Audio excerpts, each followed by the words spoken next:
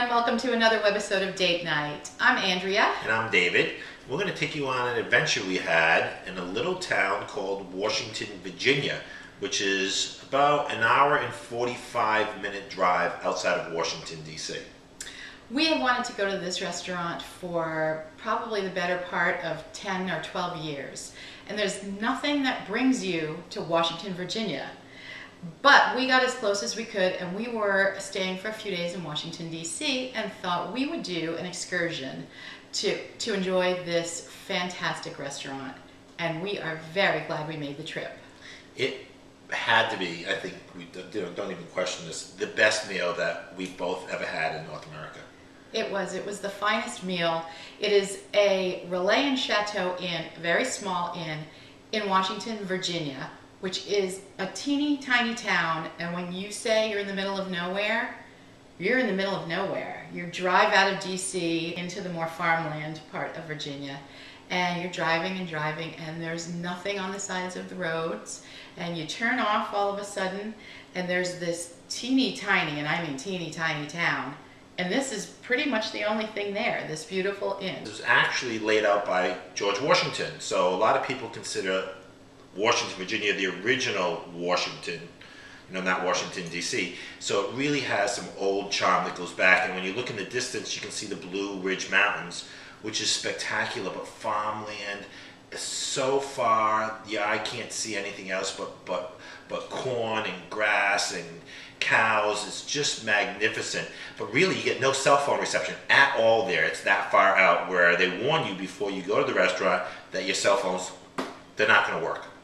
And that's a good thing because it gives you time to savor the most, the finest meal uh, we have ever had from the food to the the rooms there to the service, which just was unrivaled with anything. And we've eaten at some pretty nice restaurants here uh, in the United States. We've been to the French Laundry, we've been to Per Se, we've eaten at Daniel, we've eaten at, at some very fine restaurants. This, to us, it struck us, it really hit us, both of us in exactly the right way. And the interior is just spectacular. It's beautiful, it's charming, and it completely, in my opinion, especially when we went into the back room overlooking the garden, it completely reflects the personality of the owner chef, uh, Patrick O'Connell, in my opinion. Yeah, the, we, it was explained to us that each of these little rooms at the inn on the first floor, the parlor and the different dining rooms, are designed by someone from London who they call a set designer. And that's essentially what it is. You feel, you get very different feelings in each room and they're decorated to the hilt really beautifully. Um, Patrick O'Connell, the chef, who was not in the restaurant the night we were there. He, he cooks there five nights a week. He happened to have been doing a fundraiser in Washington, D.C. that night, a private fundraiser. So we missed him, but his kitchen carried out this dinner to a T. Amazing. He moved uh, and bought this property 20 some odd years ago, maybe 20 22, 20, uh, something Somewhere. like that. And it was a gas station when he bought it, and he wanted to develop it into an inn. There was no one, there was no place to get food. The only thing that you could get was milk delivered from the, the, dairy farms there. So what he has done over the years is developed relationships with farmers in the area to grow amazing, amazing produce for him and, and raise sustainable um, sustainable meats, and that's what he uses. He also has a beautiful garden at the inn. It's called the Garden of Eden, and they, they pull things every day, so everything is super fresh. It's sustainable, organically raised, and the food is spectacular. Well, really, it, you have to say it was the first farm to table.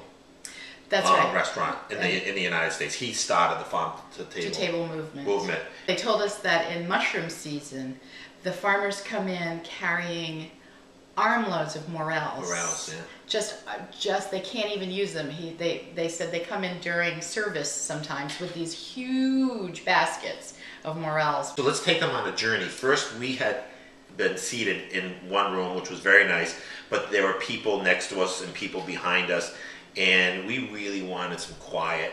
um, and enjoy the evening. So I got up and asked if we could move, and um, they moved us to this back room, this charming room, and the room had from the ceiling lin- linens that came down like this, draped fabric, and a fabric ceiling, a gathered fabric ceiling, and it overlooked. There were three sets of French doors that overlooked the beautiful courtyard garden that we I went to. We went to after dinner and got to experience. It's it's spectacular, and we sat um, next to each other, looking out, which was nice. And then the service, the everybody who started off was so charming, so friendly, so personable, so warm. That was so well, one they of the greeted big, beautifully. Yeah, that was one of the big differences. There was zero pretension, zero. And that, I think, for me, was the difference between dining there and dining at the more sophisticated restaurants in New York, where there's there's just an air of um, there's an eliteness, I think, among servers and between servers and diners. And um, there was nothing between us and the servers. They were couldn't have been more charming, telling us about themselves, about their lives, asking about where we had come from and what we were doing and what we liked. Uh, telling us about the restaurant, telling us about the area. And so when you make a connection with your server that you're going to be working with for the entire evening, it makes for just a real, a truly delightful evening from all aspects. Well, we were dining in Patrick O'Connell's home, and, And it wasn't just a restaurant. It was a home. It was it was, and every one of the people that worked for him were his family, and they were welcoming us to their home and telling us about themselves, and and their lives, and about how the food uh, was prepared. And about wines and just everything in life you wanted. It was just it was having a conversation with a nice person, besides having the meals so well. So we started off with the we did the tasting menu. We like did the always do. tasting menu. It's called the Gastronauts menu, and it's a 10 course tasting. We did not do the pairings for this meal. We have actually been dieting, Yeah, which has been um, it's been successful and and not too bad. But this was the big splurge, and we said if we're going to splurge on the food, we're going to keep it really hold back a little bit with the wine. So Right. for the whole 10 courses, we had a half bottle of Saint Julien, 2005 Saint Julien, and we made every sip count. well, it was perfect pairing with everything in there. But don't forget, I had to drive an hour and forty five minutes home late. and I wasn't going to drink a whole bottle of wine. Right, or- great choice. Um, we're not going to go through the whole menu, the whole 10 courses, but we'll just give you a couple of highlights, starting with the first course.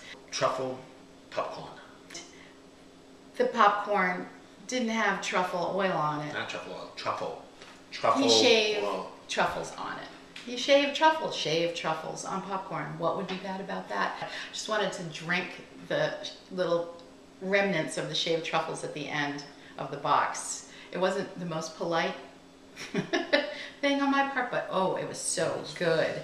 Um, followed by a shot of Craig Claiborne tomato soup that was extraordinary. It was creamy and very tomatoey sweet. Um, I have to look up that recipe. If I find it, I'll post it someplace because it's got to be an old classic recipe, but it was delicious. My favorite course was the final savory course, and it was braised veal cheek on a salad of summer vegetables from the garden, the Garden of Eden at the inn.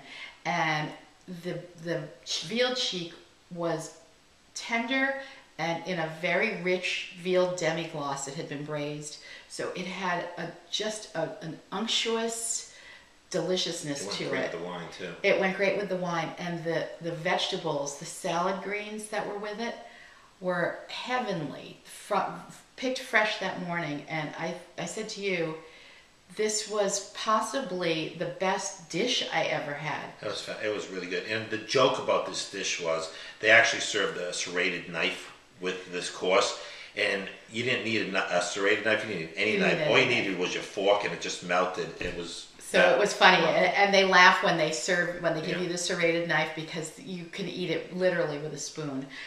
It was so beautifully balanced, um, and e- the the it was the perfect bite. I It was just great. loved that. And then I had this cherry tart for dessert. Fresh cherries that were picked. Sour cherries. They were sour Sour cherries, cherries, yeah. on a crunchy dough Oh my god. that the waiter told us the pastry chef had learned the recipe for this dough from Jacques Pepin. yeah. That it was a very special recipe, and it was crunchy. It was buttery, and then had like a sugar coating to it almost, which amazingly Amazing. balanced the sour cherries. It was the best It, dessert I've ever it had. was. It wasn't the actual dessert on the menu. The, on the menu, I got the dessert that came on the tasting menu, and it was a chocolate menage a trois. It was chocolate creme brulee, chocolate souffle, and chocolate mousse, a chocolate um, chocolate mousse bomb. And it was not overly sweet, which is one of the things that turns me off in a chocolate dessert when you can't taste the chocolate, and when you left, you're left with this cloying taste in your mouth. This was perfect, but the cherry tart was over the top. It was worth every bite of breaking the diet to take spoonfuls of this. It was just fantastic. It was great. So then in between, we went out to the garden, and there's a koi pond outside, and on top of the garage, there's a, there's a umbrella like Mary Poppins on top of the garage next door, which is all lit up with little little white lights up the side. Just absolutely gorgeous gardens outside.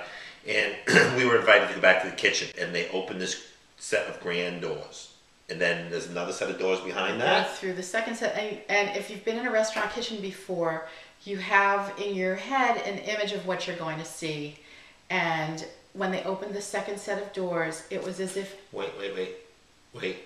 It was as if going into the Emerald City. It was, wasn't it? it was as if angels were flying above us, floating above us, and it went. Oh! Yeah.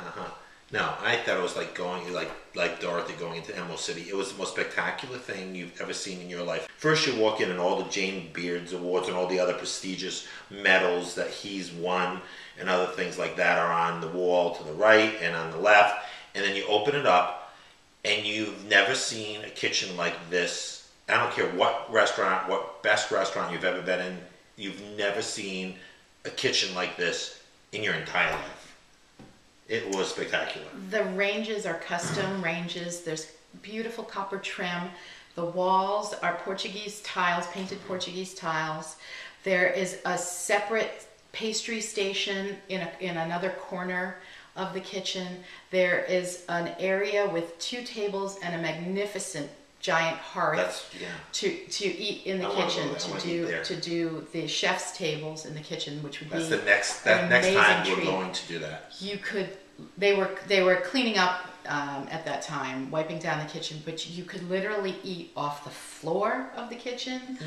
off the counters off of it was meticulous and beautiful and the music, Music. What was the music? it like was monks, it was like it was like chants yeah.